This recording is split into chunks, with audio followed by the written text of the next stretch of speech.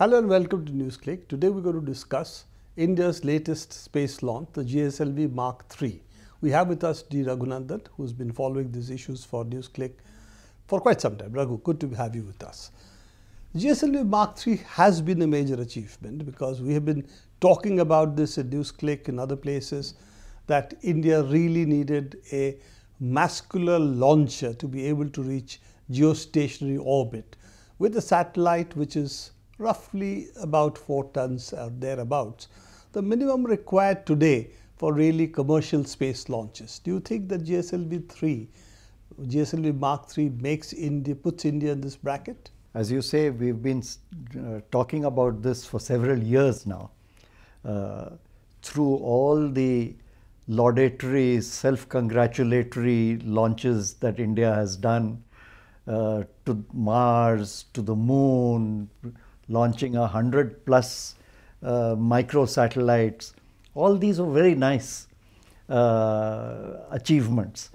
But uh, if India was to be taken seriously as a commercial space launch uh, nation, it needed to be able to launch heavy satellites which were uh, meant for commercial uh, applications, particularly for communications satellites, which is where the money is and where the demand is, which meant launching satellites of about 4 tons plus uh, at high enough altitudes to uh, enable geostationary uh, positioning. positioning of the satellites.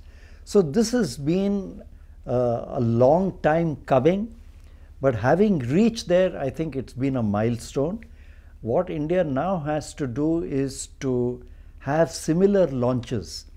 Normally in the space uh, launch universe, uh, you are taken to have a reliable launch capability if the same launch vehicle repeats a success three to four times.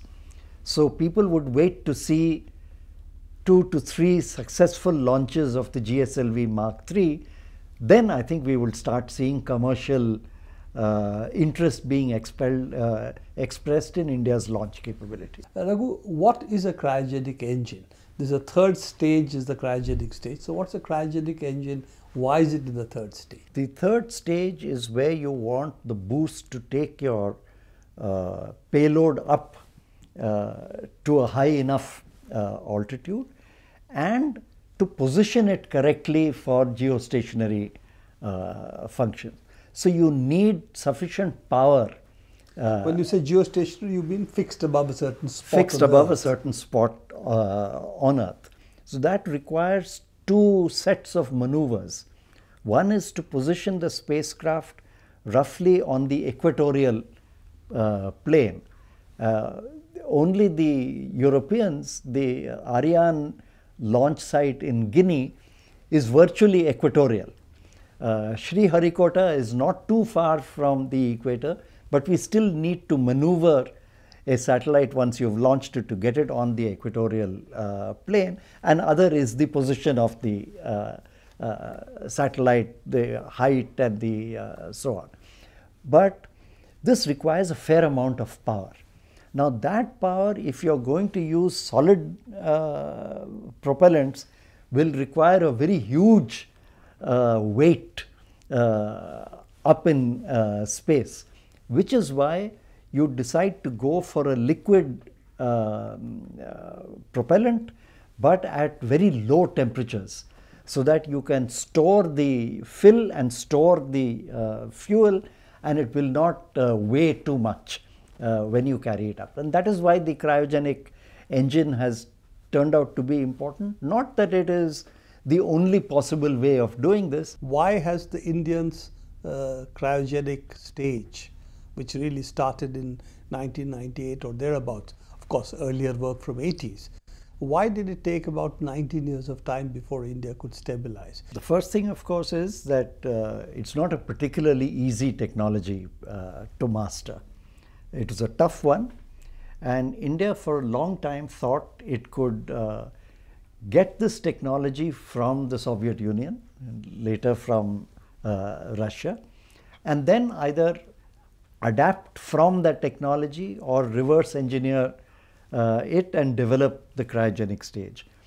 Uh, this started developing problems after the collapse of the Soviet Union, uh, the transition uh, to Russia, which then started having a slightly different approach uh, to technology sharing with other countries. I think the relationship between Russia and India also started changing with India looking more to the West uh, for different technologies. All this posed a challenge. Raghu, if we look at the background of this, Yeah. it was the Yeltsin government which really buckled under the pressure of Clinton That's right. uh, administration. That's right. And literally sabotaged That's what was an existing cryogenic agreement. That's right. Which was for peaceful purposes. That's right. As you know, uh, cryogenic engines are never used for missile purposes. Quite right. It takes three days to fill. Yes. So therefore, nobody is going to wait three days for a launcher. Yeah. So the fact that it was a peaceful uh, transfer, it did not violate the what is called the missile uh, MTCR. MTCR, the control uh, regime. All this was really not the issue. The real issue was the Americans didn't want That's India right. to be a competition in Absolutely. space uh, commercial launch Absolutely. vehicles. So you're right. And that's so why the they basic, sabotaged yeah. So the basic thing was a shift in the uh, geopolitical environment. And which- Russia s- and Russia changing its uh, uh, position.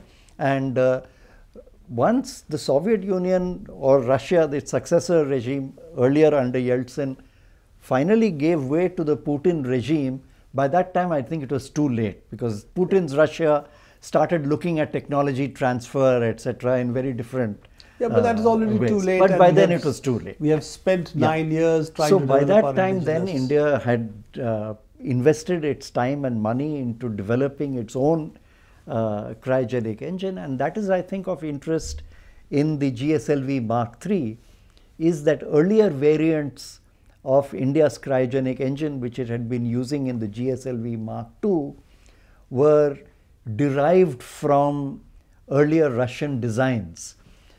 This cryogenic engine uh, used in the GSLV Mark III is a completely indigenous uh, design, owes nothing to uh, the earlier Russian designs, and is a completely new Indian design, which is, I think, what makes it uh, particularly significant. So what you're saying is that if you have two or three or more such launches, That's right. then India would be firmly into this That's right. communication space launch vehicle market. that's right. We have been launching our uh, communication satellites through the Ariane route. That's That's been right. the preferred platform for India. So who are the other uh, players in this field and how would India uh, be positioned Yeah. with respect to both technology and cost? Yeah. Well, the US, uh, the Europeans, uh, the Russians, and the Chinese have uh, such launch capabilities. Japan has launch capabilities, has never really established itself as a established player in the launch market, particularly in heavier uh, satellite launches. So we are essentially talking about four uh, players. NASA has virtually gone out of the uh, satellite launch business now. So it's left to players like Elon Musk and others to take the ball uh, forward. So they are playing in the market as well. And Musk is playing for the uh, low cost market by shifting to reusable rockets, thereby reducing uh, costs. So that's what his uh, game plan uh, is. So that leaves the Europeans and the Russians. The Chinese are not really global players in the commercial space launch uh, market. So I think India has a good slot uh, to enter into. There is sufficient demand in the market and not enough players. So if it can show reliability, what you're saying is in cost terms, India would get Yes. an economic advantage or Yes. a commercial advantage because it really offers cheaper uh, launch costs. The other part of it, do you see a shift po- of possibly uh, towards smaller satellites, micro satellites, and not going in for such big, uh, large satellites? So that you have more number of smaller satellites, but you cover the Earth similarly. This is happening in different applications, uh, particularly in tracking uh, applications. There are some of the satellites we launched in our earlier record breaking 104 satellites uh, launch, for example, is a company which is uh, using microsatellites to track any uh, vehicle, ships, trucks, trains, whatever. So, any courier, uh, cargo carrier, anybody can track exactly where their uh, cargo is going, whether it's on land, sea, air, uh, whatever. And they do that by having a hundred or more microsatellites all around the earth rather than having one large satellite uh, tracking it. So, for some of these applications, this works. But uh, the difficulty is in communication satellite, where you want your communication satellite positioned just so. And those communication satellites with the transponders and so on tend to be heavy, which is why there is still a premium on the 4 ton uh, class. Because, for example, about 10 years ago, you would have had communication satellites in the 1 ton or 1.5 ton range. But now people want, with a single launch, to have a much larger number of transponders uh, up because then you can hire out the transponders uh, to other users. So, communication satellites today tend to be of the 4 ton plus range. In fact, many of them are today 6 tons. And there is one other aspect which has been highlighted in sections of the Indian media and in the international media, whose utility and potential I think we should discuss at some other time but which we can flag here at the moment is with this, India has opened the door to the possibility of human uh, launches as well. Uh, we could not have attempted to put an astronaut in space until you had this size of launch capability. And uh, apparently, ISRO has already uh, put forward a proposal to the government uh, looking for a uh, human launch about eight years down the road.